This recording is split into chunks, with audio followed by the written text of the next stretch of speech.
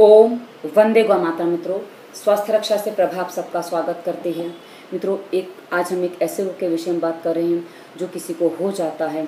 तो अर्थात उनको छोटा सा मच्छर भी काट जाए, वो खुजला भी दें तो कई बार वो घाव बढ़ता चला जाता है इतना बढ़ जाता है कि कई बार उस अंग को काट के हटा देना पड़ता है, क्योंकि ऐसा अंग हो जाता है कि वो अंग सड़ने लग जाता है और उसको काट के हटा देना पड़ता है। इसे हम गैंग्रीन के नाम से जानते हैं। मित्रों गैंग्रीन जो रोग होता है तो उसमें उत्तकों यानी कि टिश्यूज़ की मृत्यु हो जाती है। अर्थात जिस अंग में गैंग्रीन होता है, उस अंग के टिश्यूज़ की मृत्यु हो जाती है। यह तब होता है जब हमारे देह में किसी भी अंग में खून की यानी कि रक्त का जो प्रवाह है, वो अपनी आपूर्ति खो देता है, अर्थात वहाँ रक्त नहीं पहुँच पाता है। गैंग्रीन कई बार हमारे अंगों में, ऊपर के हिस्से में भी होता है और कई बार ये अंदर की सतह पर भी हो जाता है। और इसमें जो कुछ कारण है वो हम बता दें। एक कारण है, सबसे बड़ा कारण जो माना जाता है मधुमेह, यानी कि डायबिटीज़ डायबिटीज़ के जो रोगी होते हैं, उनको भी ये समस्या बहुत जल्दी हो जाती है। उसके अलावा घाव, कहीं घाव आदि लग जाना, रक्त की आपूर्ति ना होना ही तो हमने पहले ही बता दिया। उसके अलावा यदि हमारी प्रतिरक्षा प्रणाली, यानी कि हमारा इम्यून सिस्टम बहुत कमज़ोर है तो भी ये समस्या खड़ी हो जाती है। तो ऐसी स्थिति में जब ये होता है तो क्या होता है, हम उसके बारे में भी जान। लें मित्रों, उस अंग में सुन्नता आ जाती है, कालापन आ जाता है और कई बार दुर्गंध युक्त जो पदार्थ है, वहाँ से यदि पीप वगैरह निकलता है तो दुर्गंध युक्त पदार्थ निकलता है और उस अंग में फ़िल्म जैसी नहीं रहती है, अर्थात उस अंग को में कुछ महसूस नहीं होता, पर उस अंग में महसूस नहीं होता, पर बाकी अंग को उसकी पीड़ा झेलनी पड़ती है। अर्थात जैसा कि हमने बताया, बदबूदार होता है। कई बार इसमें बुखार भी आ जाता है, क्योंकि स्थितियाँ ऐसी बन जाती हैं कि शरीर यदि मन घबराहट मन में घबराहट हो जाती है तो कई बार चक्कर आना, बुखार आना, सांस तेज चलना और कई बार मस्तिष्क इतना उलझ जाता है कि उसको पता ही नहीं चलता कि हमें क्या करना चाहिए। और ऐसी स्थिति में, क्योंकि हम एक बार देखते हैं कि जब कैसा भी कोई भी रोग विशेष होता है तो उस समय मनुष्य का मस्तिष्क ठीक से काम नहीं कर पाता है। तो इन सब स्थितियों से यदि आप निपटना चाहते हैं, इस रोग से यदि आप अपने आप को बाहर निकालना चाहते हैं तो आपको क्या करना है? हम आपको थोड़ी जानकारी विस्तार में देंगे, आप वीडियो पूरा देखें। क्योंकि आप आधा अधूरा वीडियो देख के फिर प्रश्न करते हैं तो हम उत्तर देने के लिए बाध्य नहीं होते हैं। तो आप पूरा वीडियो देखें। अब आपको इसकी शुरुआत कैसे करनी है? जैसा कि हमने आपको बताया कि उत्तकों को ऑक्सीजन की मात्रा नहीं मिलती, अर्थात रक्त का प्रभाव नहीं होता। तो रक्त का प्रभाव हो, उसके लिए आपको कुछ सावधानियाँ रखनी है। क्योंकि जो ये रोग हैं, रोगों के बहुत सारे कारण होते हैं जो कारण हमने बनाए, बताए हैं, जो जिस चीज़ें हमने बताई हैं, उसके अलावा और भी कारण हो सकते हैं।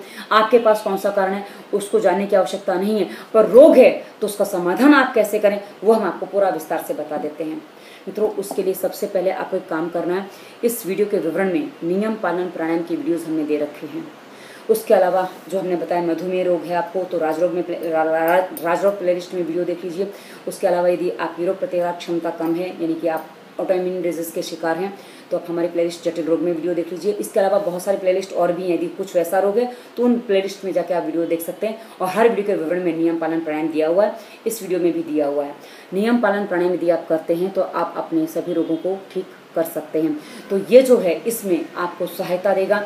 आपके देह में ऑक्सीजन की कमी हो, प्राणायाम से पूरी होगी और नियम पालन यदि आप करते हैं, नियम पालन करने से आप जो गलतियाँ कर रहे थे, उसमें आप सबसे पहले सुधार करेंगे। साथ ही आप यदि प्राणायाम कर रहे हैं, पर आपको लाभ नहीं हो रहा है तो आप हमारी प्लेलिस्ट सारी जो आप देखेंगे तो आपको पता चलेगा आप गलतियाँ कहाँ कर रहे थे, कैसे कर रहे थे, क्योंकि लोग सीधा बैठना तक नहीं जानते हैं। तो अपन सबको सुधार के सही तरीके से जब प्राणायाम करेंगे तो आप देखेंगे कि आप अपने देह के भीतर ऑक्सीजन की मात्रा कैसे बढ़ा पा रहे हैं और वो आपके देह में आपकी इस रोग को ठीक करने में कैसे सहायता दे रही है। अब कितना करना है तो आप, जैसा आपका रोग है, जितना बड़ा आपका रोग है, उतना अधिक आपको प्राणायाम करना है। सामान्यतः हम एक घंटा प्राणायाम सबको बताते हैं। अब आपको कितना करना है, उसके ऊपर आप देख लीजिए आपको कितनी आवश्यकता है। अब हम आते हैं कुछ औषधीय प्रयोग पर। मित्रों, औषधीय प्रयोग यदि इस के साथ करते हैं तो बहुत अच्छा लाभ देते हैं। पर हाँ आप मात्र औषधीय प्रयोग पर टिक जाएँगे, यदि सोचेंगे मात्र औषधीय प्रयोग से हम ठीक हो जाएँगे तो उसमें समय बहुत लंबा लग जाता है। इसलिए नियम, पालन, प्राणायाम आवश्यक होता है। तो हम आपको बताते हैं कुछ औषधीय प्रयोग। सबसे पहले आप एक देशी गौ माता का गौमूत्र ले लीजिए। गौमूत्र देशी गौ माता को आपका ध्यान क्या रखना है? कम से कम इतना ध्यान रखिए कि जिस गौ माता का जो गोबर है, वो बंधा हुआ होता है, उस गौ माता का गौमूत्र आप लीजिए। पर गौ माता देशी होनी चाहिए, इसका विशेष ध्यान रखें जर्सी या किसी अन्य गौ माता का गौमूत्र नहीं चलेगा। तो आप जो गौमूत्र लेंगे, उसको आप जहाँ भी आपको गैंग्रीन का घाव है, उससे आपको घाव साफ़ करना है। आपको कोई भी डिटॉल आदि का इस्तेमाल नहीं करना है। आपको सीधा गौमूत्र से ही अपना घाव साफ़ करना है। और उसके बाद थोड़े से गोबर में, ऐसा ही यही गौ माता का गोबर। हाँ गौ माता का जिसका गौमूत्र आप लेंगे, उसमें दो बातों का ध्यान रखें। गौ माता रोगी ना हो और दूसरा गौ माता गर्भवती ना हो। क्योंकि उसका गौमूत्र या गोबर थोड़ा आपको उतना सही नहीं रहेगा जितना एक सामान्य गाय का रहेगा। तो आप उसका विशेष ध्यान रखें। तो आप उसके बाद गौमूत्र से धोकर उसमें थोड़ा सा गोबर और ये जो गोमूत्र है, उसको मिला के एक लेप जैसा बना लीजिए उस जहाँ आपको घाव है, उस स्थान पर आप उसको ठीक से लगा दीजिए। इससे और इसको लगाने के बाद आप उस अंग को, लगाना कितने अंग में? माना कि इतने अंग में आपको गैंग्रीन है तो उसके चार अंगुल ऊपर तक आपको लगाना है। नीचे आप लगाइए, पर चार अंगुल ऊपर भी आपको लगाना है, क्योंकि काटने का जो हिस्सा आता है, काटने की जो बारी आती है तो अंग जहाँ है, वहाँ से ऊपर की आती है। तो आप उतने हिस्से में पूरा वो गोमूत्र और गोबर का जो लेप वो लगा दीजिए। ये आपको काफ़ी लाभ देगा। इसके अलावा आप और क्या कर सकते हैं? गोमूत्र ले लीजिए, और साथ ही उसमें थोड़ा आप हल्दी घर में उगा लीजिए।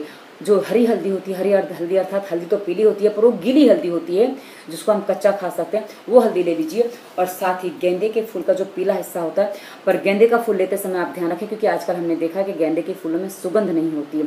तो जो सुगंध वाले गेंदे के फूल हैं, वो अधिक अच्छा काम करें, क्योंकि ये एकदम अच्छे ओरिजिनल कह सकते हैं नहीं तो क्या केमिकल वाले होते हैं तो उसमें नुकसान हो जाता है।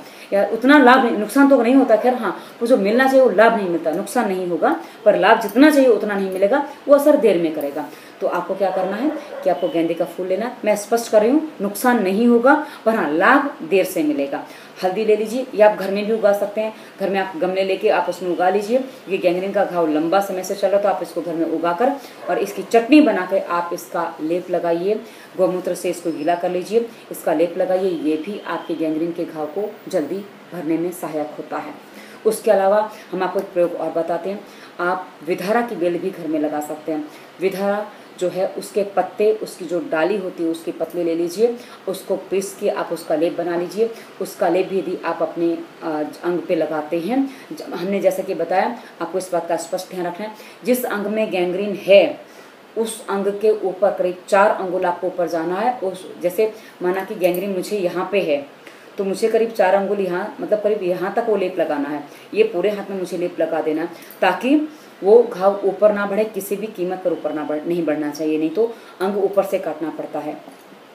और जो भी लेप लगाएँगे आप वहाँ से लगाएँगे, जैसा भी धोएँगे आप वहाँ से धोएँगे। धोना हमेशा गौमूत्र से है, और उसके बाद लेप आप कोई भी लगाइए। तो आप आप जो ये विधारा का जो लेप तैयार करेंगे, विधारा। ये तीन शब्द हैं, विधारा। यदि आप इसका लेप लगाते हैं, ये भी बहुत जल्दी घाव भरता।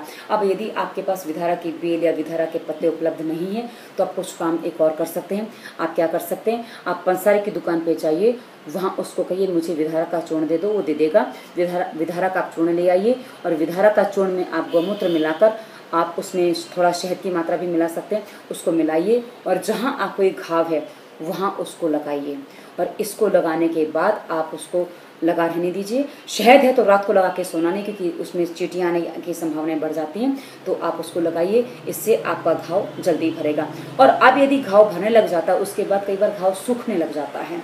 तो कई बार उसमें खुजली होती, खुजलाने से घाव बढ़ जाता है। तो ऐसी स्थिति में आपको करना क्या? दिन में आप ये कोई भी लेप आदि लगा दीजिए और रात को आप पतंजलि से एक तेल आता है, कायाकल्प तेल। और नहीं तो हमारी प्लेलिस्ट औषधि है, उसमें हमने तेल बनाने की विधि बताई है, आप वो ले लीजिए। उस तेल को भी यदि आप लगाते हैं तो आपका जो खिंचाव तनाव उस चमड़ी में आता, उस त्वचा में आता, वो आपका कम हो जाएगा, जिससे आपके घाव बढ़ने की संभावनाएँ समाप्त हो जाएँगी। तो वो तेल आप दिन में तीन चार बार भी लगा सकते हैं, पर ये एक दो बार ये लेप दो बार ये लेप लगाइए और दो तीन बार तेल लगाइए। इससे आपके जो घाव हैं, वो आप देखेंगे कि घाव आपके जल्दी भर जाएँगे। मित्रों प्रयोग हमने बहुत कठिन नहीं बताए हैं, सरल बताए हैं, आप आराम से इनको कर सकते हैं, क्योंकि आपको ठीक होना है। आपको ठीक नहीं होना तो आप कुछ मत करिए। और हाँ आपके लिए प्रश्न ये है कि हमें कितनी देर क्या करना है? तो आपका बड़ा रोग है तो आपको अधिक करना है, आपका छोटा रोग है तो कम करना है। धूप में जो बैठने वाली बात हमने बताई, गोबर और गौमूत्र लगा के, वो आपको सामान्यतः आधा घंटा बैठना है। यदि घाव बड़ा है, घाव जल्दी ठीक होना है आपको तो आप उसको आधे घंटे से एक घंटे तक ले जा सकते हैं। पर जब धूप में बैठते हैं तो सर पे गीले पानी की तौलिया रख लीजिए और पानी पी के बैठिए, ताकि आपको धूप की परेशानियाँ ना सताएँ। बहुत ही सरल तरीका हमने आपको बताया, इसका पूरा पालन करेंगे करेंगे तो अपनी गैंग्रीन से मुक्त हो पाएँगे और पूरी तरह मुक्त हो पाएँगे, आपका अंग पुनः सामान्य हो जाएगा। हाँ उसमें कुछ खड्डा वगैरह आगे पड़ गया तो उसको हम अधिक नहीं भर सकते, क्योंकि जो चीज़ें निकल जाती हैं उसको हम पुनः वैसे नहीं ला पाते हैं। पर जो सामान्य त्वचा आ रहा है, वो आपकी त्वचा ले आएगा। और कोई प्रश्न तो टिप्पणी वीडियो पर कर दीजिए, उत्तर आपको जल्दी मिल जाएगा। धन्यवाद, वंदे मातरम।